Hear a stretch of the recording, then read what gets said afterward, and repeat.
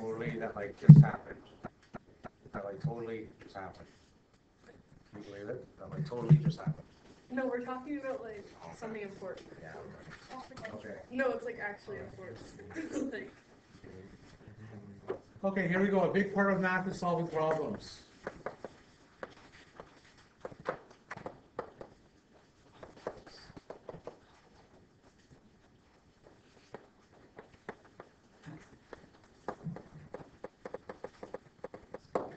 Algebra um, is used to model real life situations.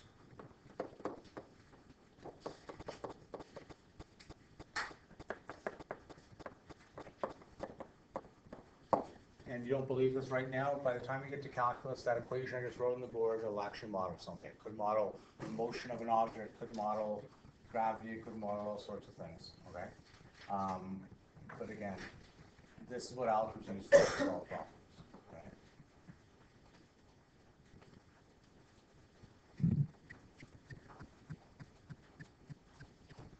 Um, you got some of this yesterday, I'm gonna do it again here.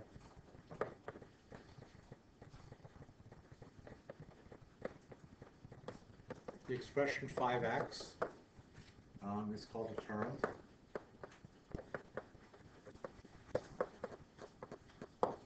Uh, the five is the coefficient.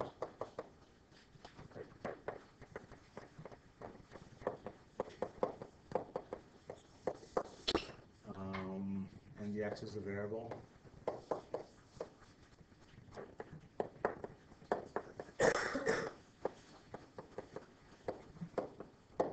the degree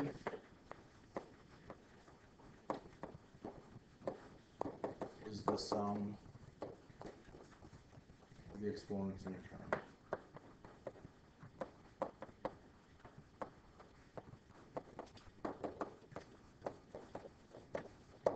Stop talking, get out of the way.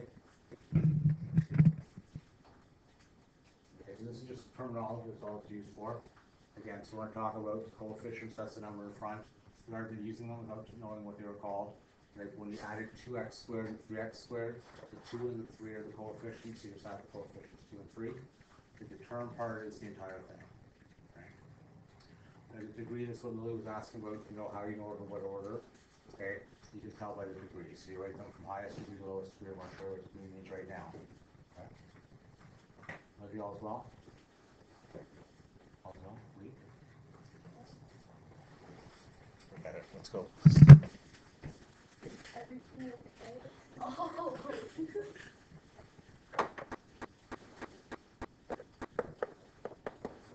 Table one says, state the degree of each polynomial.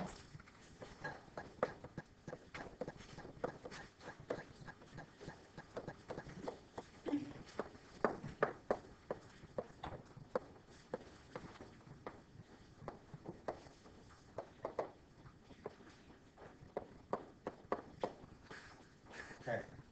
All right. I missed something, that's okay. So we got, it. what we're looking for here is you're looking for the, the sum of the exponents in the base term, okay?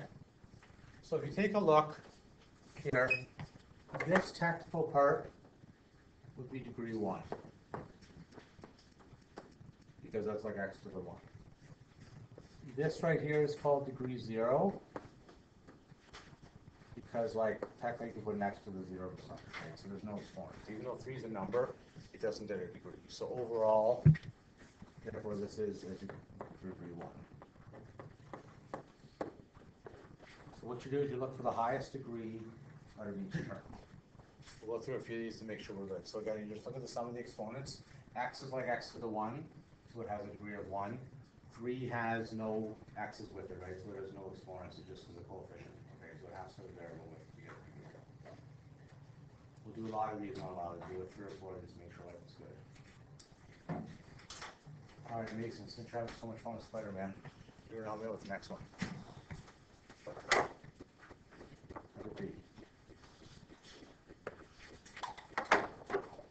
Five x to the fourth minus three x. Um, Yeah, the degree, please. Nope. What's the degree of the first term here? Degree is that? Yeah.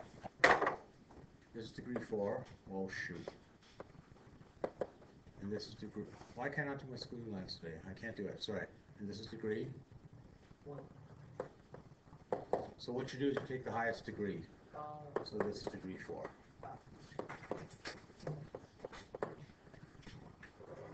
Okay? Everyone sort of see what we're doing here the highest degree. All right, letter C.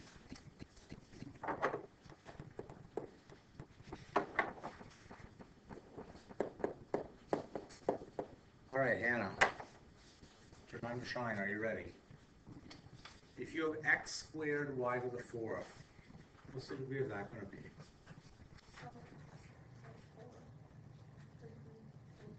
Well, we said it's the sum of the exponents, right? So what's the sum of the exponents?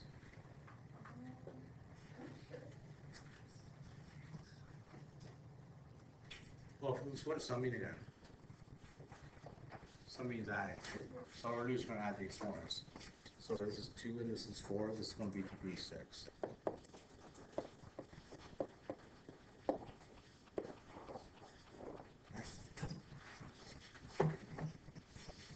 Sort of makes sense, yeah, go ahead. Why are we now like adding them instead of just like picking up them?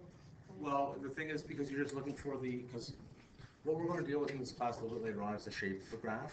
And depending on what the degree is, it's gonna look different. So basically, we're just taking a look at the total, the total exponents that there are here, the total variable exponents. So there's six variable exponents in this one, there's four in this one. But wouldn't x have one for the side? Right, but the thing is, because, right, but you're looking just at the, the degree is based on the highest. Not the- Nice. Did I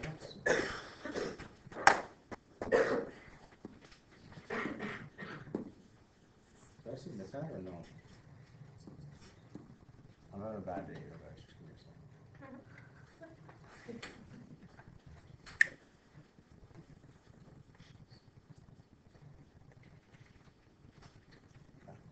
Sorry about that.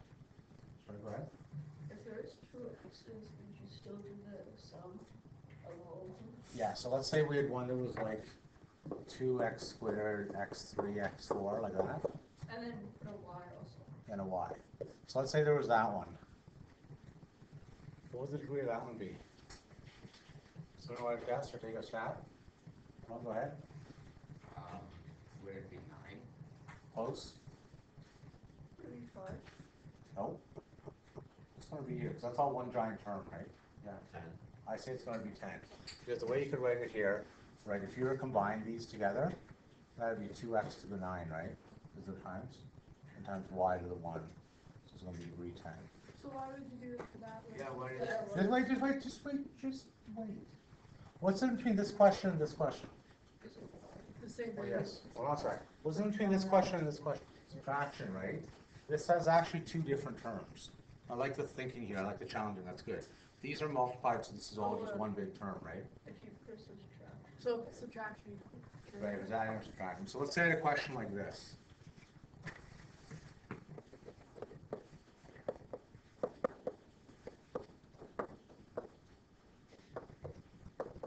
That, let's say, okay? Let's briefly do the degree of each term and we'll do the total here. Right, Haley, you're up. What's the degree of three x cubed?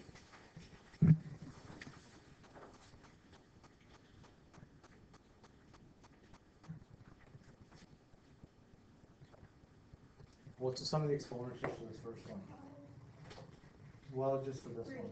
Three, right? Right? This is gonna be a two, that's gonna be one, that's gonna be a one. So you don't take the sum of the exponent, like, you take the sum of the exponents for each term, but since those are added, it's still relevant to degree three. Right, it's the highest degree when you're adding them all up, okay? So when you're multiplying, you add. When you're mul, when you're multiplying, it's like one individual term. So let's say I pick this, let's do another hard one here. But the y still there. And it's still there. So this is still, this is degree one plus three y, right? Like this is one separate part. That's one separate part, that's one separate part, that's one separate part. So this separate part read three, so the whole thing has the read three.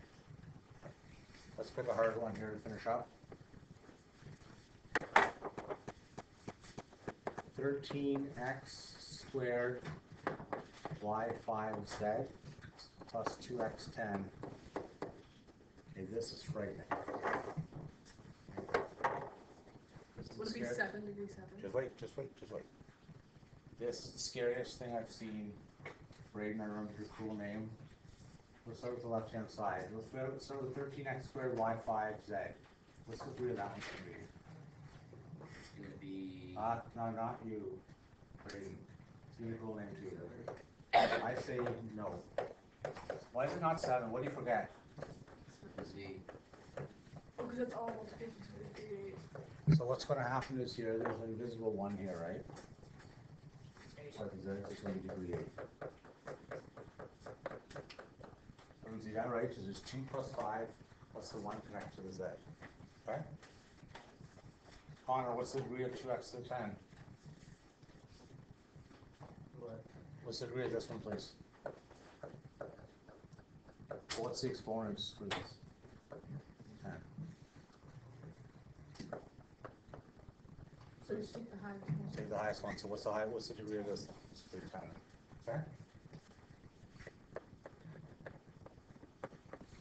Guys are making this harder than it is.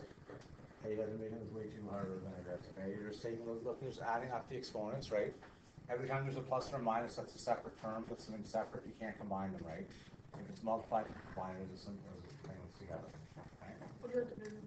Same as division, right? Okay, here we go. Say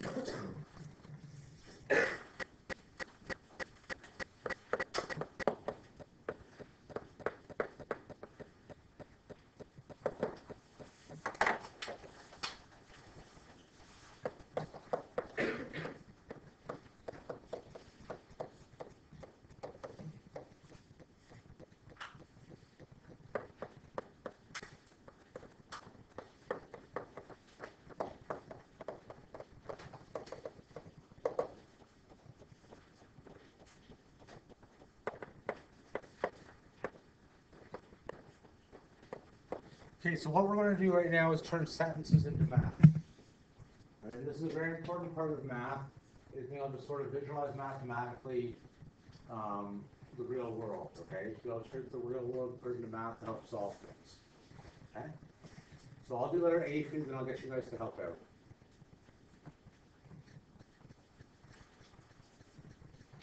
So I'm gonna start off, and I'm gonna say, let x equals the number of people. Called a statement.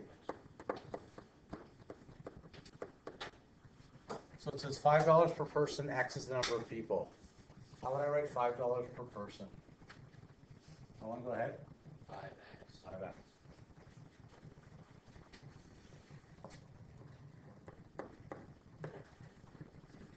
Okay. So whenever you see per or each or every, that's gonna mean multiply.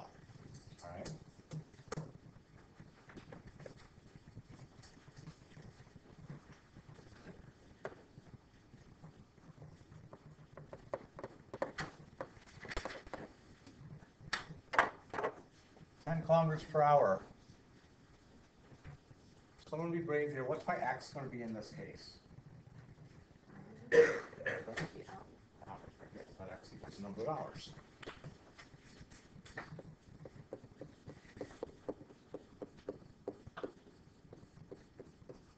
What's my expression here, please? Yeah. Uh, $10 times x. $10 times x, not the power of times. Okay.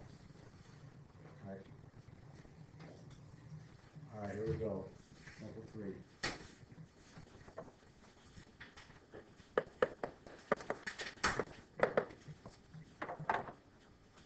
Okay, at the YMCA in Sound.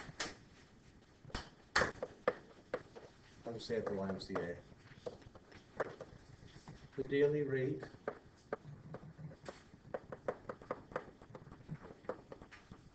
is eight dollars, uh, plus five dollars per adult,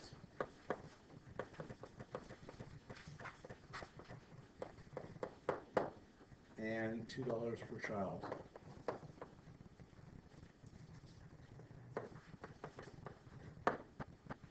Um, A says, write an expression.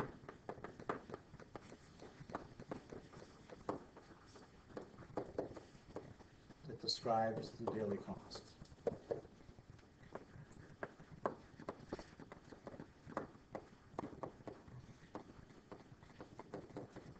I'm gonna hit pause in the video, I want you to try this out. Okay, we'll do it if you're not sure, we'll go through it as a class. Your variables are gonna be what? What are your things that can change in this question? Tell me a few things. What's some things that can change? Sorry, I'm passing you for a. What are some things that change in this question?